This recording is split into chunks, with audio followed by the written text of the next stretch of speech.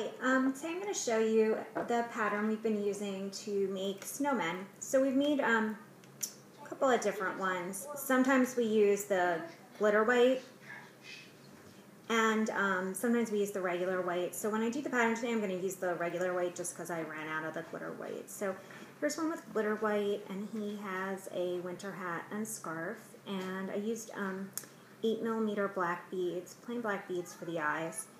Um, here's another one, glitter white with the 8 millimeter eyes. We used this little um, novelty button hat and made him a scarf. Um, here's one with no hat, same big 8 millimeter eyes and a scarf. And this one has the smaller eyes, 6 millimeter eyes, um, and it's just plain black bead. Like I said, we made him a winter hat and a scarf. So just to compare the glitter white and the white and then the different size eye, as you can see. Okay, so for this one, um, I'm actually going to use pink and red for the hat. I'm going to show you to make the hat because if you don't want to use the winter hat, you just um, use all white at the top, um, so that's easy. So I'll show you how to make the hat and the, and the way I do the scarf. Um, and like I said, I'm going to use pink and red and plain um, white. So the pattern is for a triple single bracelet. We're going to double the rubber bands that are on each row. So you can see there are two. Move that closer. Okay, two rubber bands on each. And you're going to start with your arrow at the bottom towards you facing away. And then uh, here is the pattern. So you're going to do three of your hat color. I did two pink and one red. Then seven white. And then I did a red and a pink um, for my scarf. I'm going to keep it the same colors as the hat. Um, the other side is the same as the first side. And then the center um, again, three of my hat color, I did two pinks and a red. Three white, one orange for the nose, one white, one black for the mouth, one more white, and then two of your scarf color. I um, reversed it, did pink and red. Um, so my scarf is, you know, going to be checked, I guess is what I was thinking. Um, so then once you have the bands on like this, uh, you're going to put the upside down triangles on. Um, you start still with your arrow at the bottom, start at the top, and you just want to do them like this. And you use whatever color is um, you're mostly co covering. Um, so you're going to do this all the way down until you get to the bottom and then, sorry, my arm's in the way. At the very bottom, you're going to do the second to last row there, and then that is going to be your last one. You leave these bottom three pegs open. So um, that's the pattern. If you, you're probably going to have to know how to make a triple single to do this bracelet. Um, it's just like all the other ones that I do. Um, okay, so then when you're ready to hook, um, you turn your loom around and your arrows at the top facing down towards you. And then you're just going to go up each row like this. There you go. Just go all the way up like that to the top. Keep going, just do one row at a time. Then when you get it all hooked at the top, you're going to take the bands from each side. Remember, it's going to be hooked. You're going to put it over the middle, and then you're going to make an extension, just like you would extend any other bracelet that you make with a single loom. So um, I know I went fast and I skipped that a lot of these steps, but again, to follow this, you really need to know how to make a triple single. So um, by magic, I have mine all hooked and my extension on. And now I'm going to take it off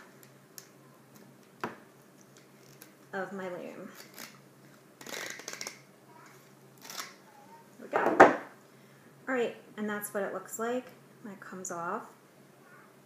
So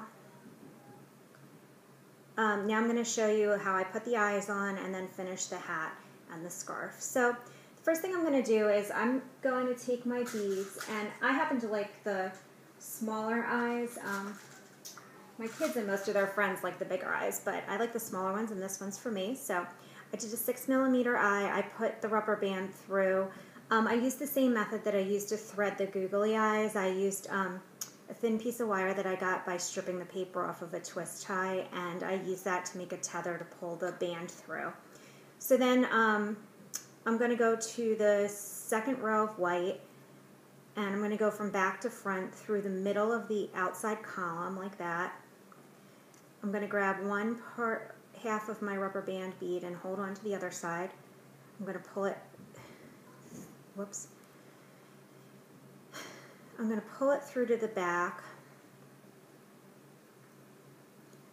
this.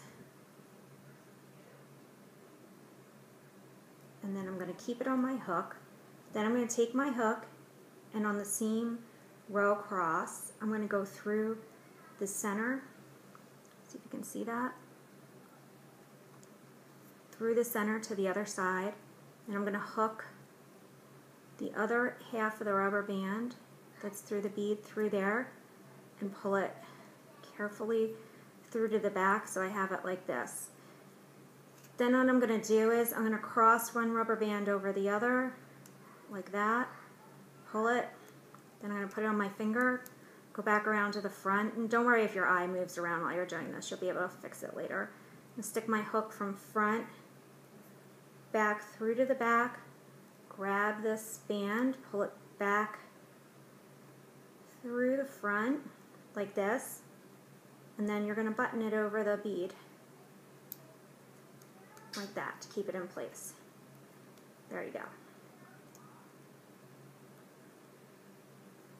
and then it'll stay in place like that. Just kind of move the bead around to where you want it.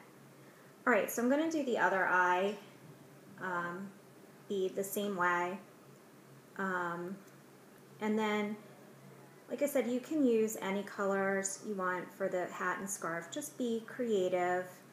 Um, you may want to do it striped or all one color, whatever you want. I don't remember what Frosty the Snowman, what color his scarf was, but I'm sure the magical internet can tell you. You can make them look like Frosty.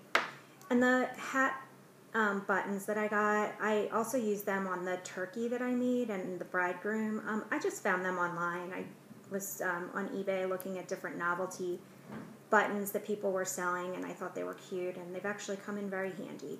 Um, so that's where I got them. Okay, so now I have both my eyes on. There she is. It's to be my girl snowman.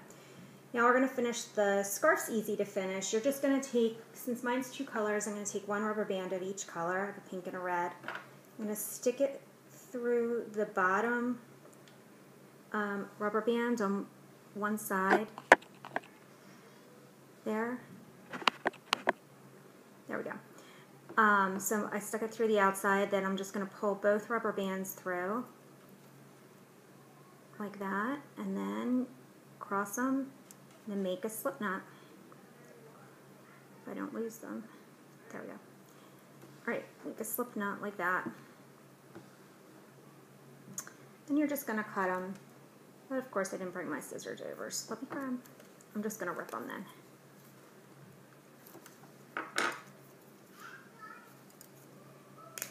there we go and that's my frayed ends of my scarf right there. Okay, so now um, I'm going to do a little pom-pom on the top of the hat. I'm going to do mine in red, so I'll just take like, I guess three bands, however you want to do it. And I'm just going to go through the rubber bands at the point of the hat there. So I'm going to go through, and then I'm just going to pull a rubber band through and make a slip knot like that. So it hangs like that. Then you're just going to do that a couple more times at the top. Um, you can go through the same one, you can go through different ones, loop them around each other, just because rubber bands sometimes can be a little crazy. Um, you may have to just experiment with how it's going to work on, on your hat. So there's two. And I'm going to tie it around the outside, the third one. And there's three. All right, so here's what it looks like. And then you're just going to take these three, or whatever, however many things you used, rubber bands you use for your pom-pom, and you're going to snip them. And there's your pom-pom. And there's your snowman. So, hope you like the snowman, and um, it's getting cold here where I am, so enjoy winter. Thanks.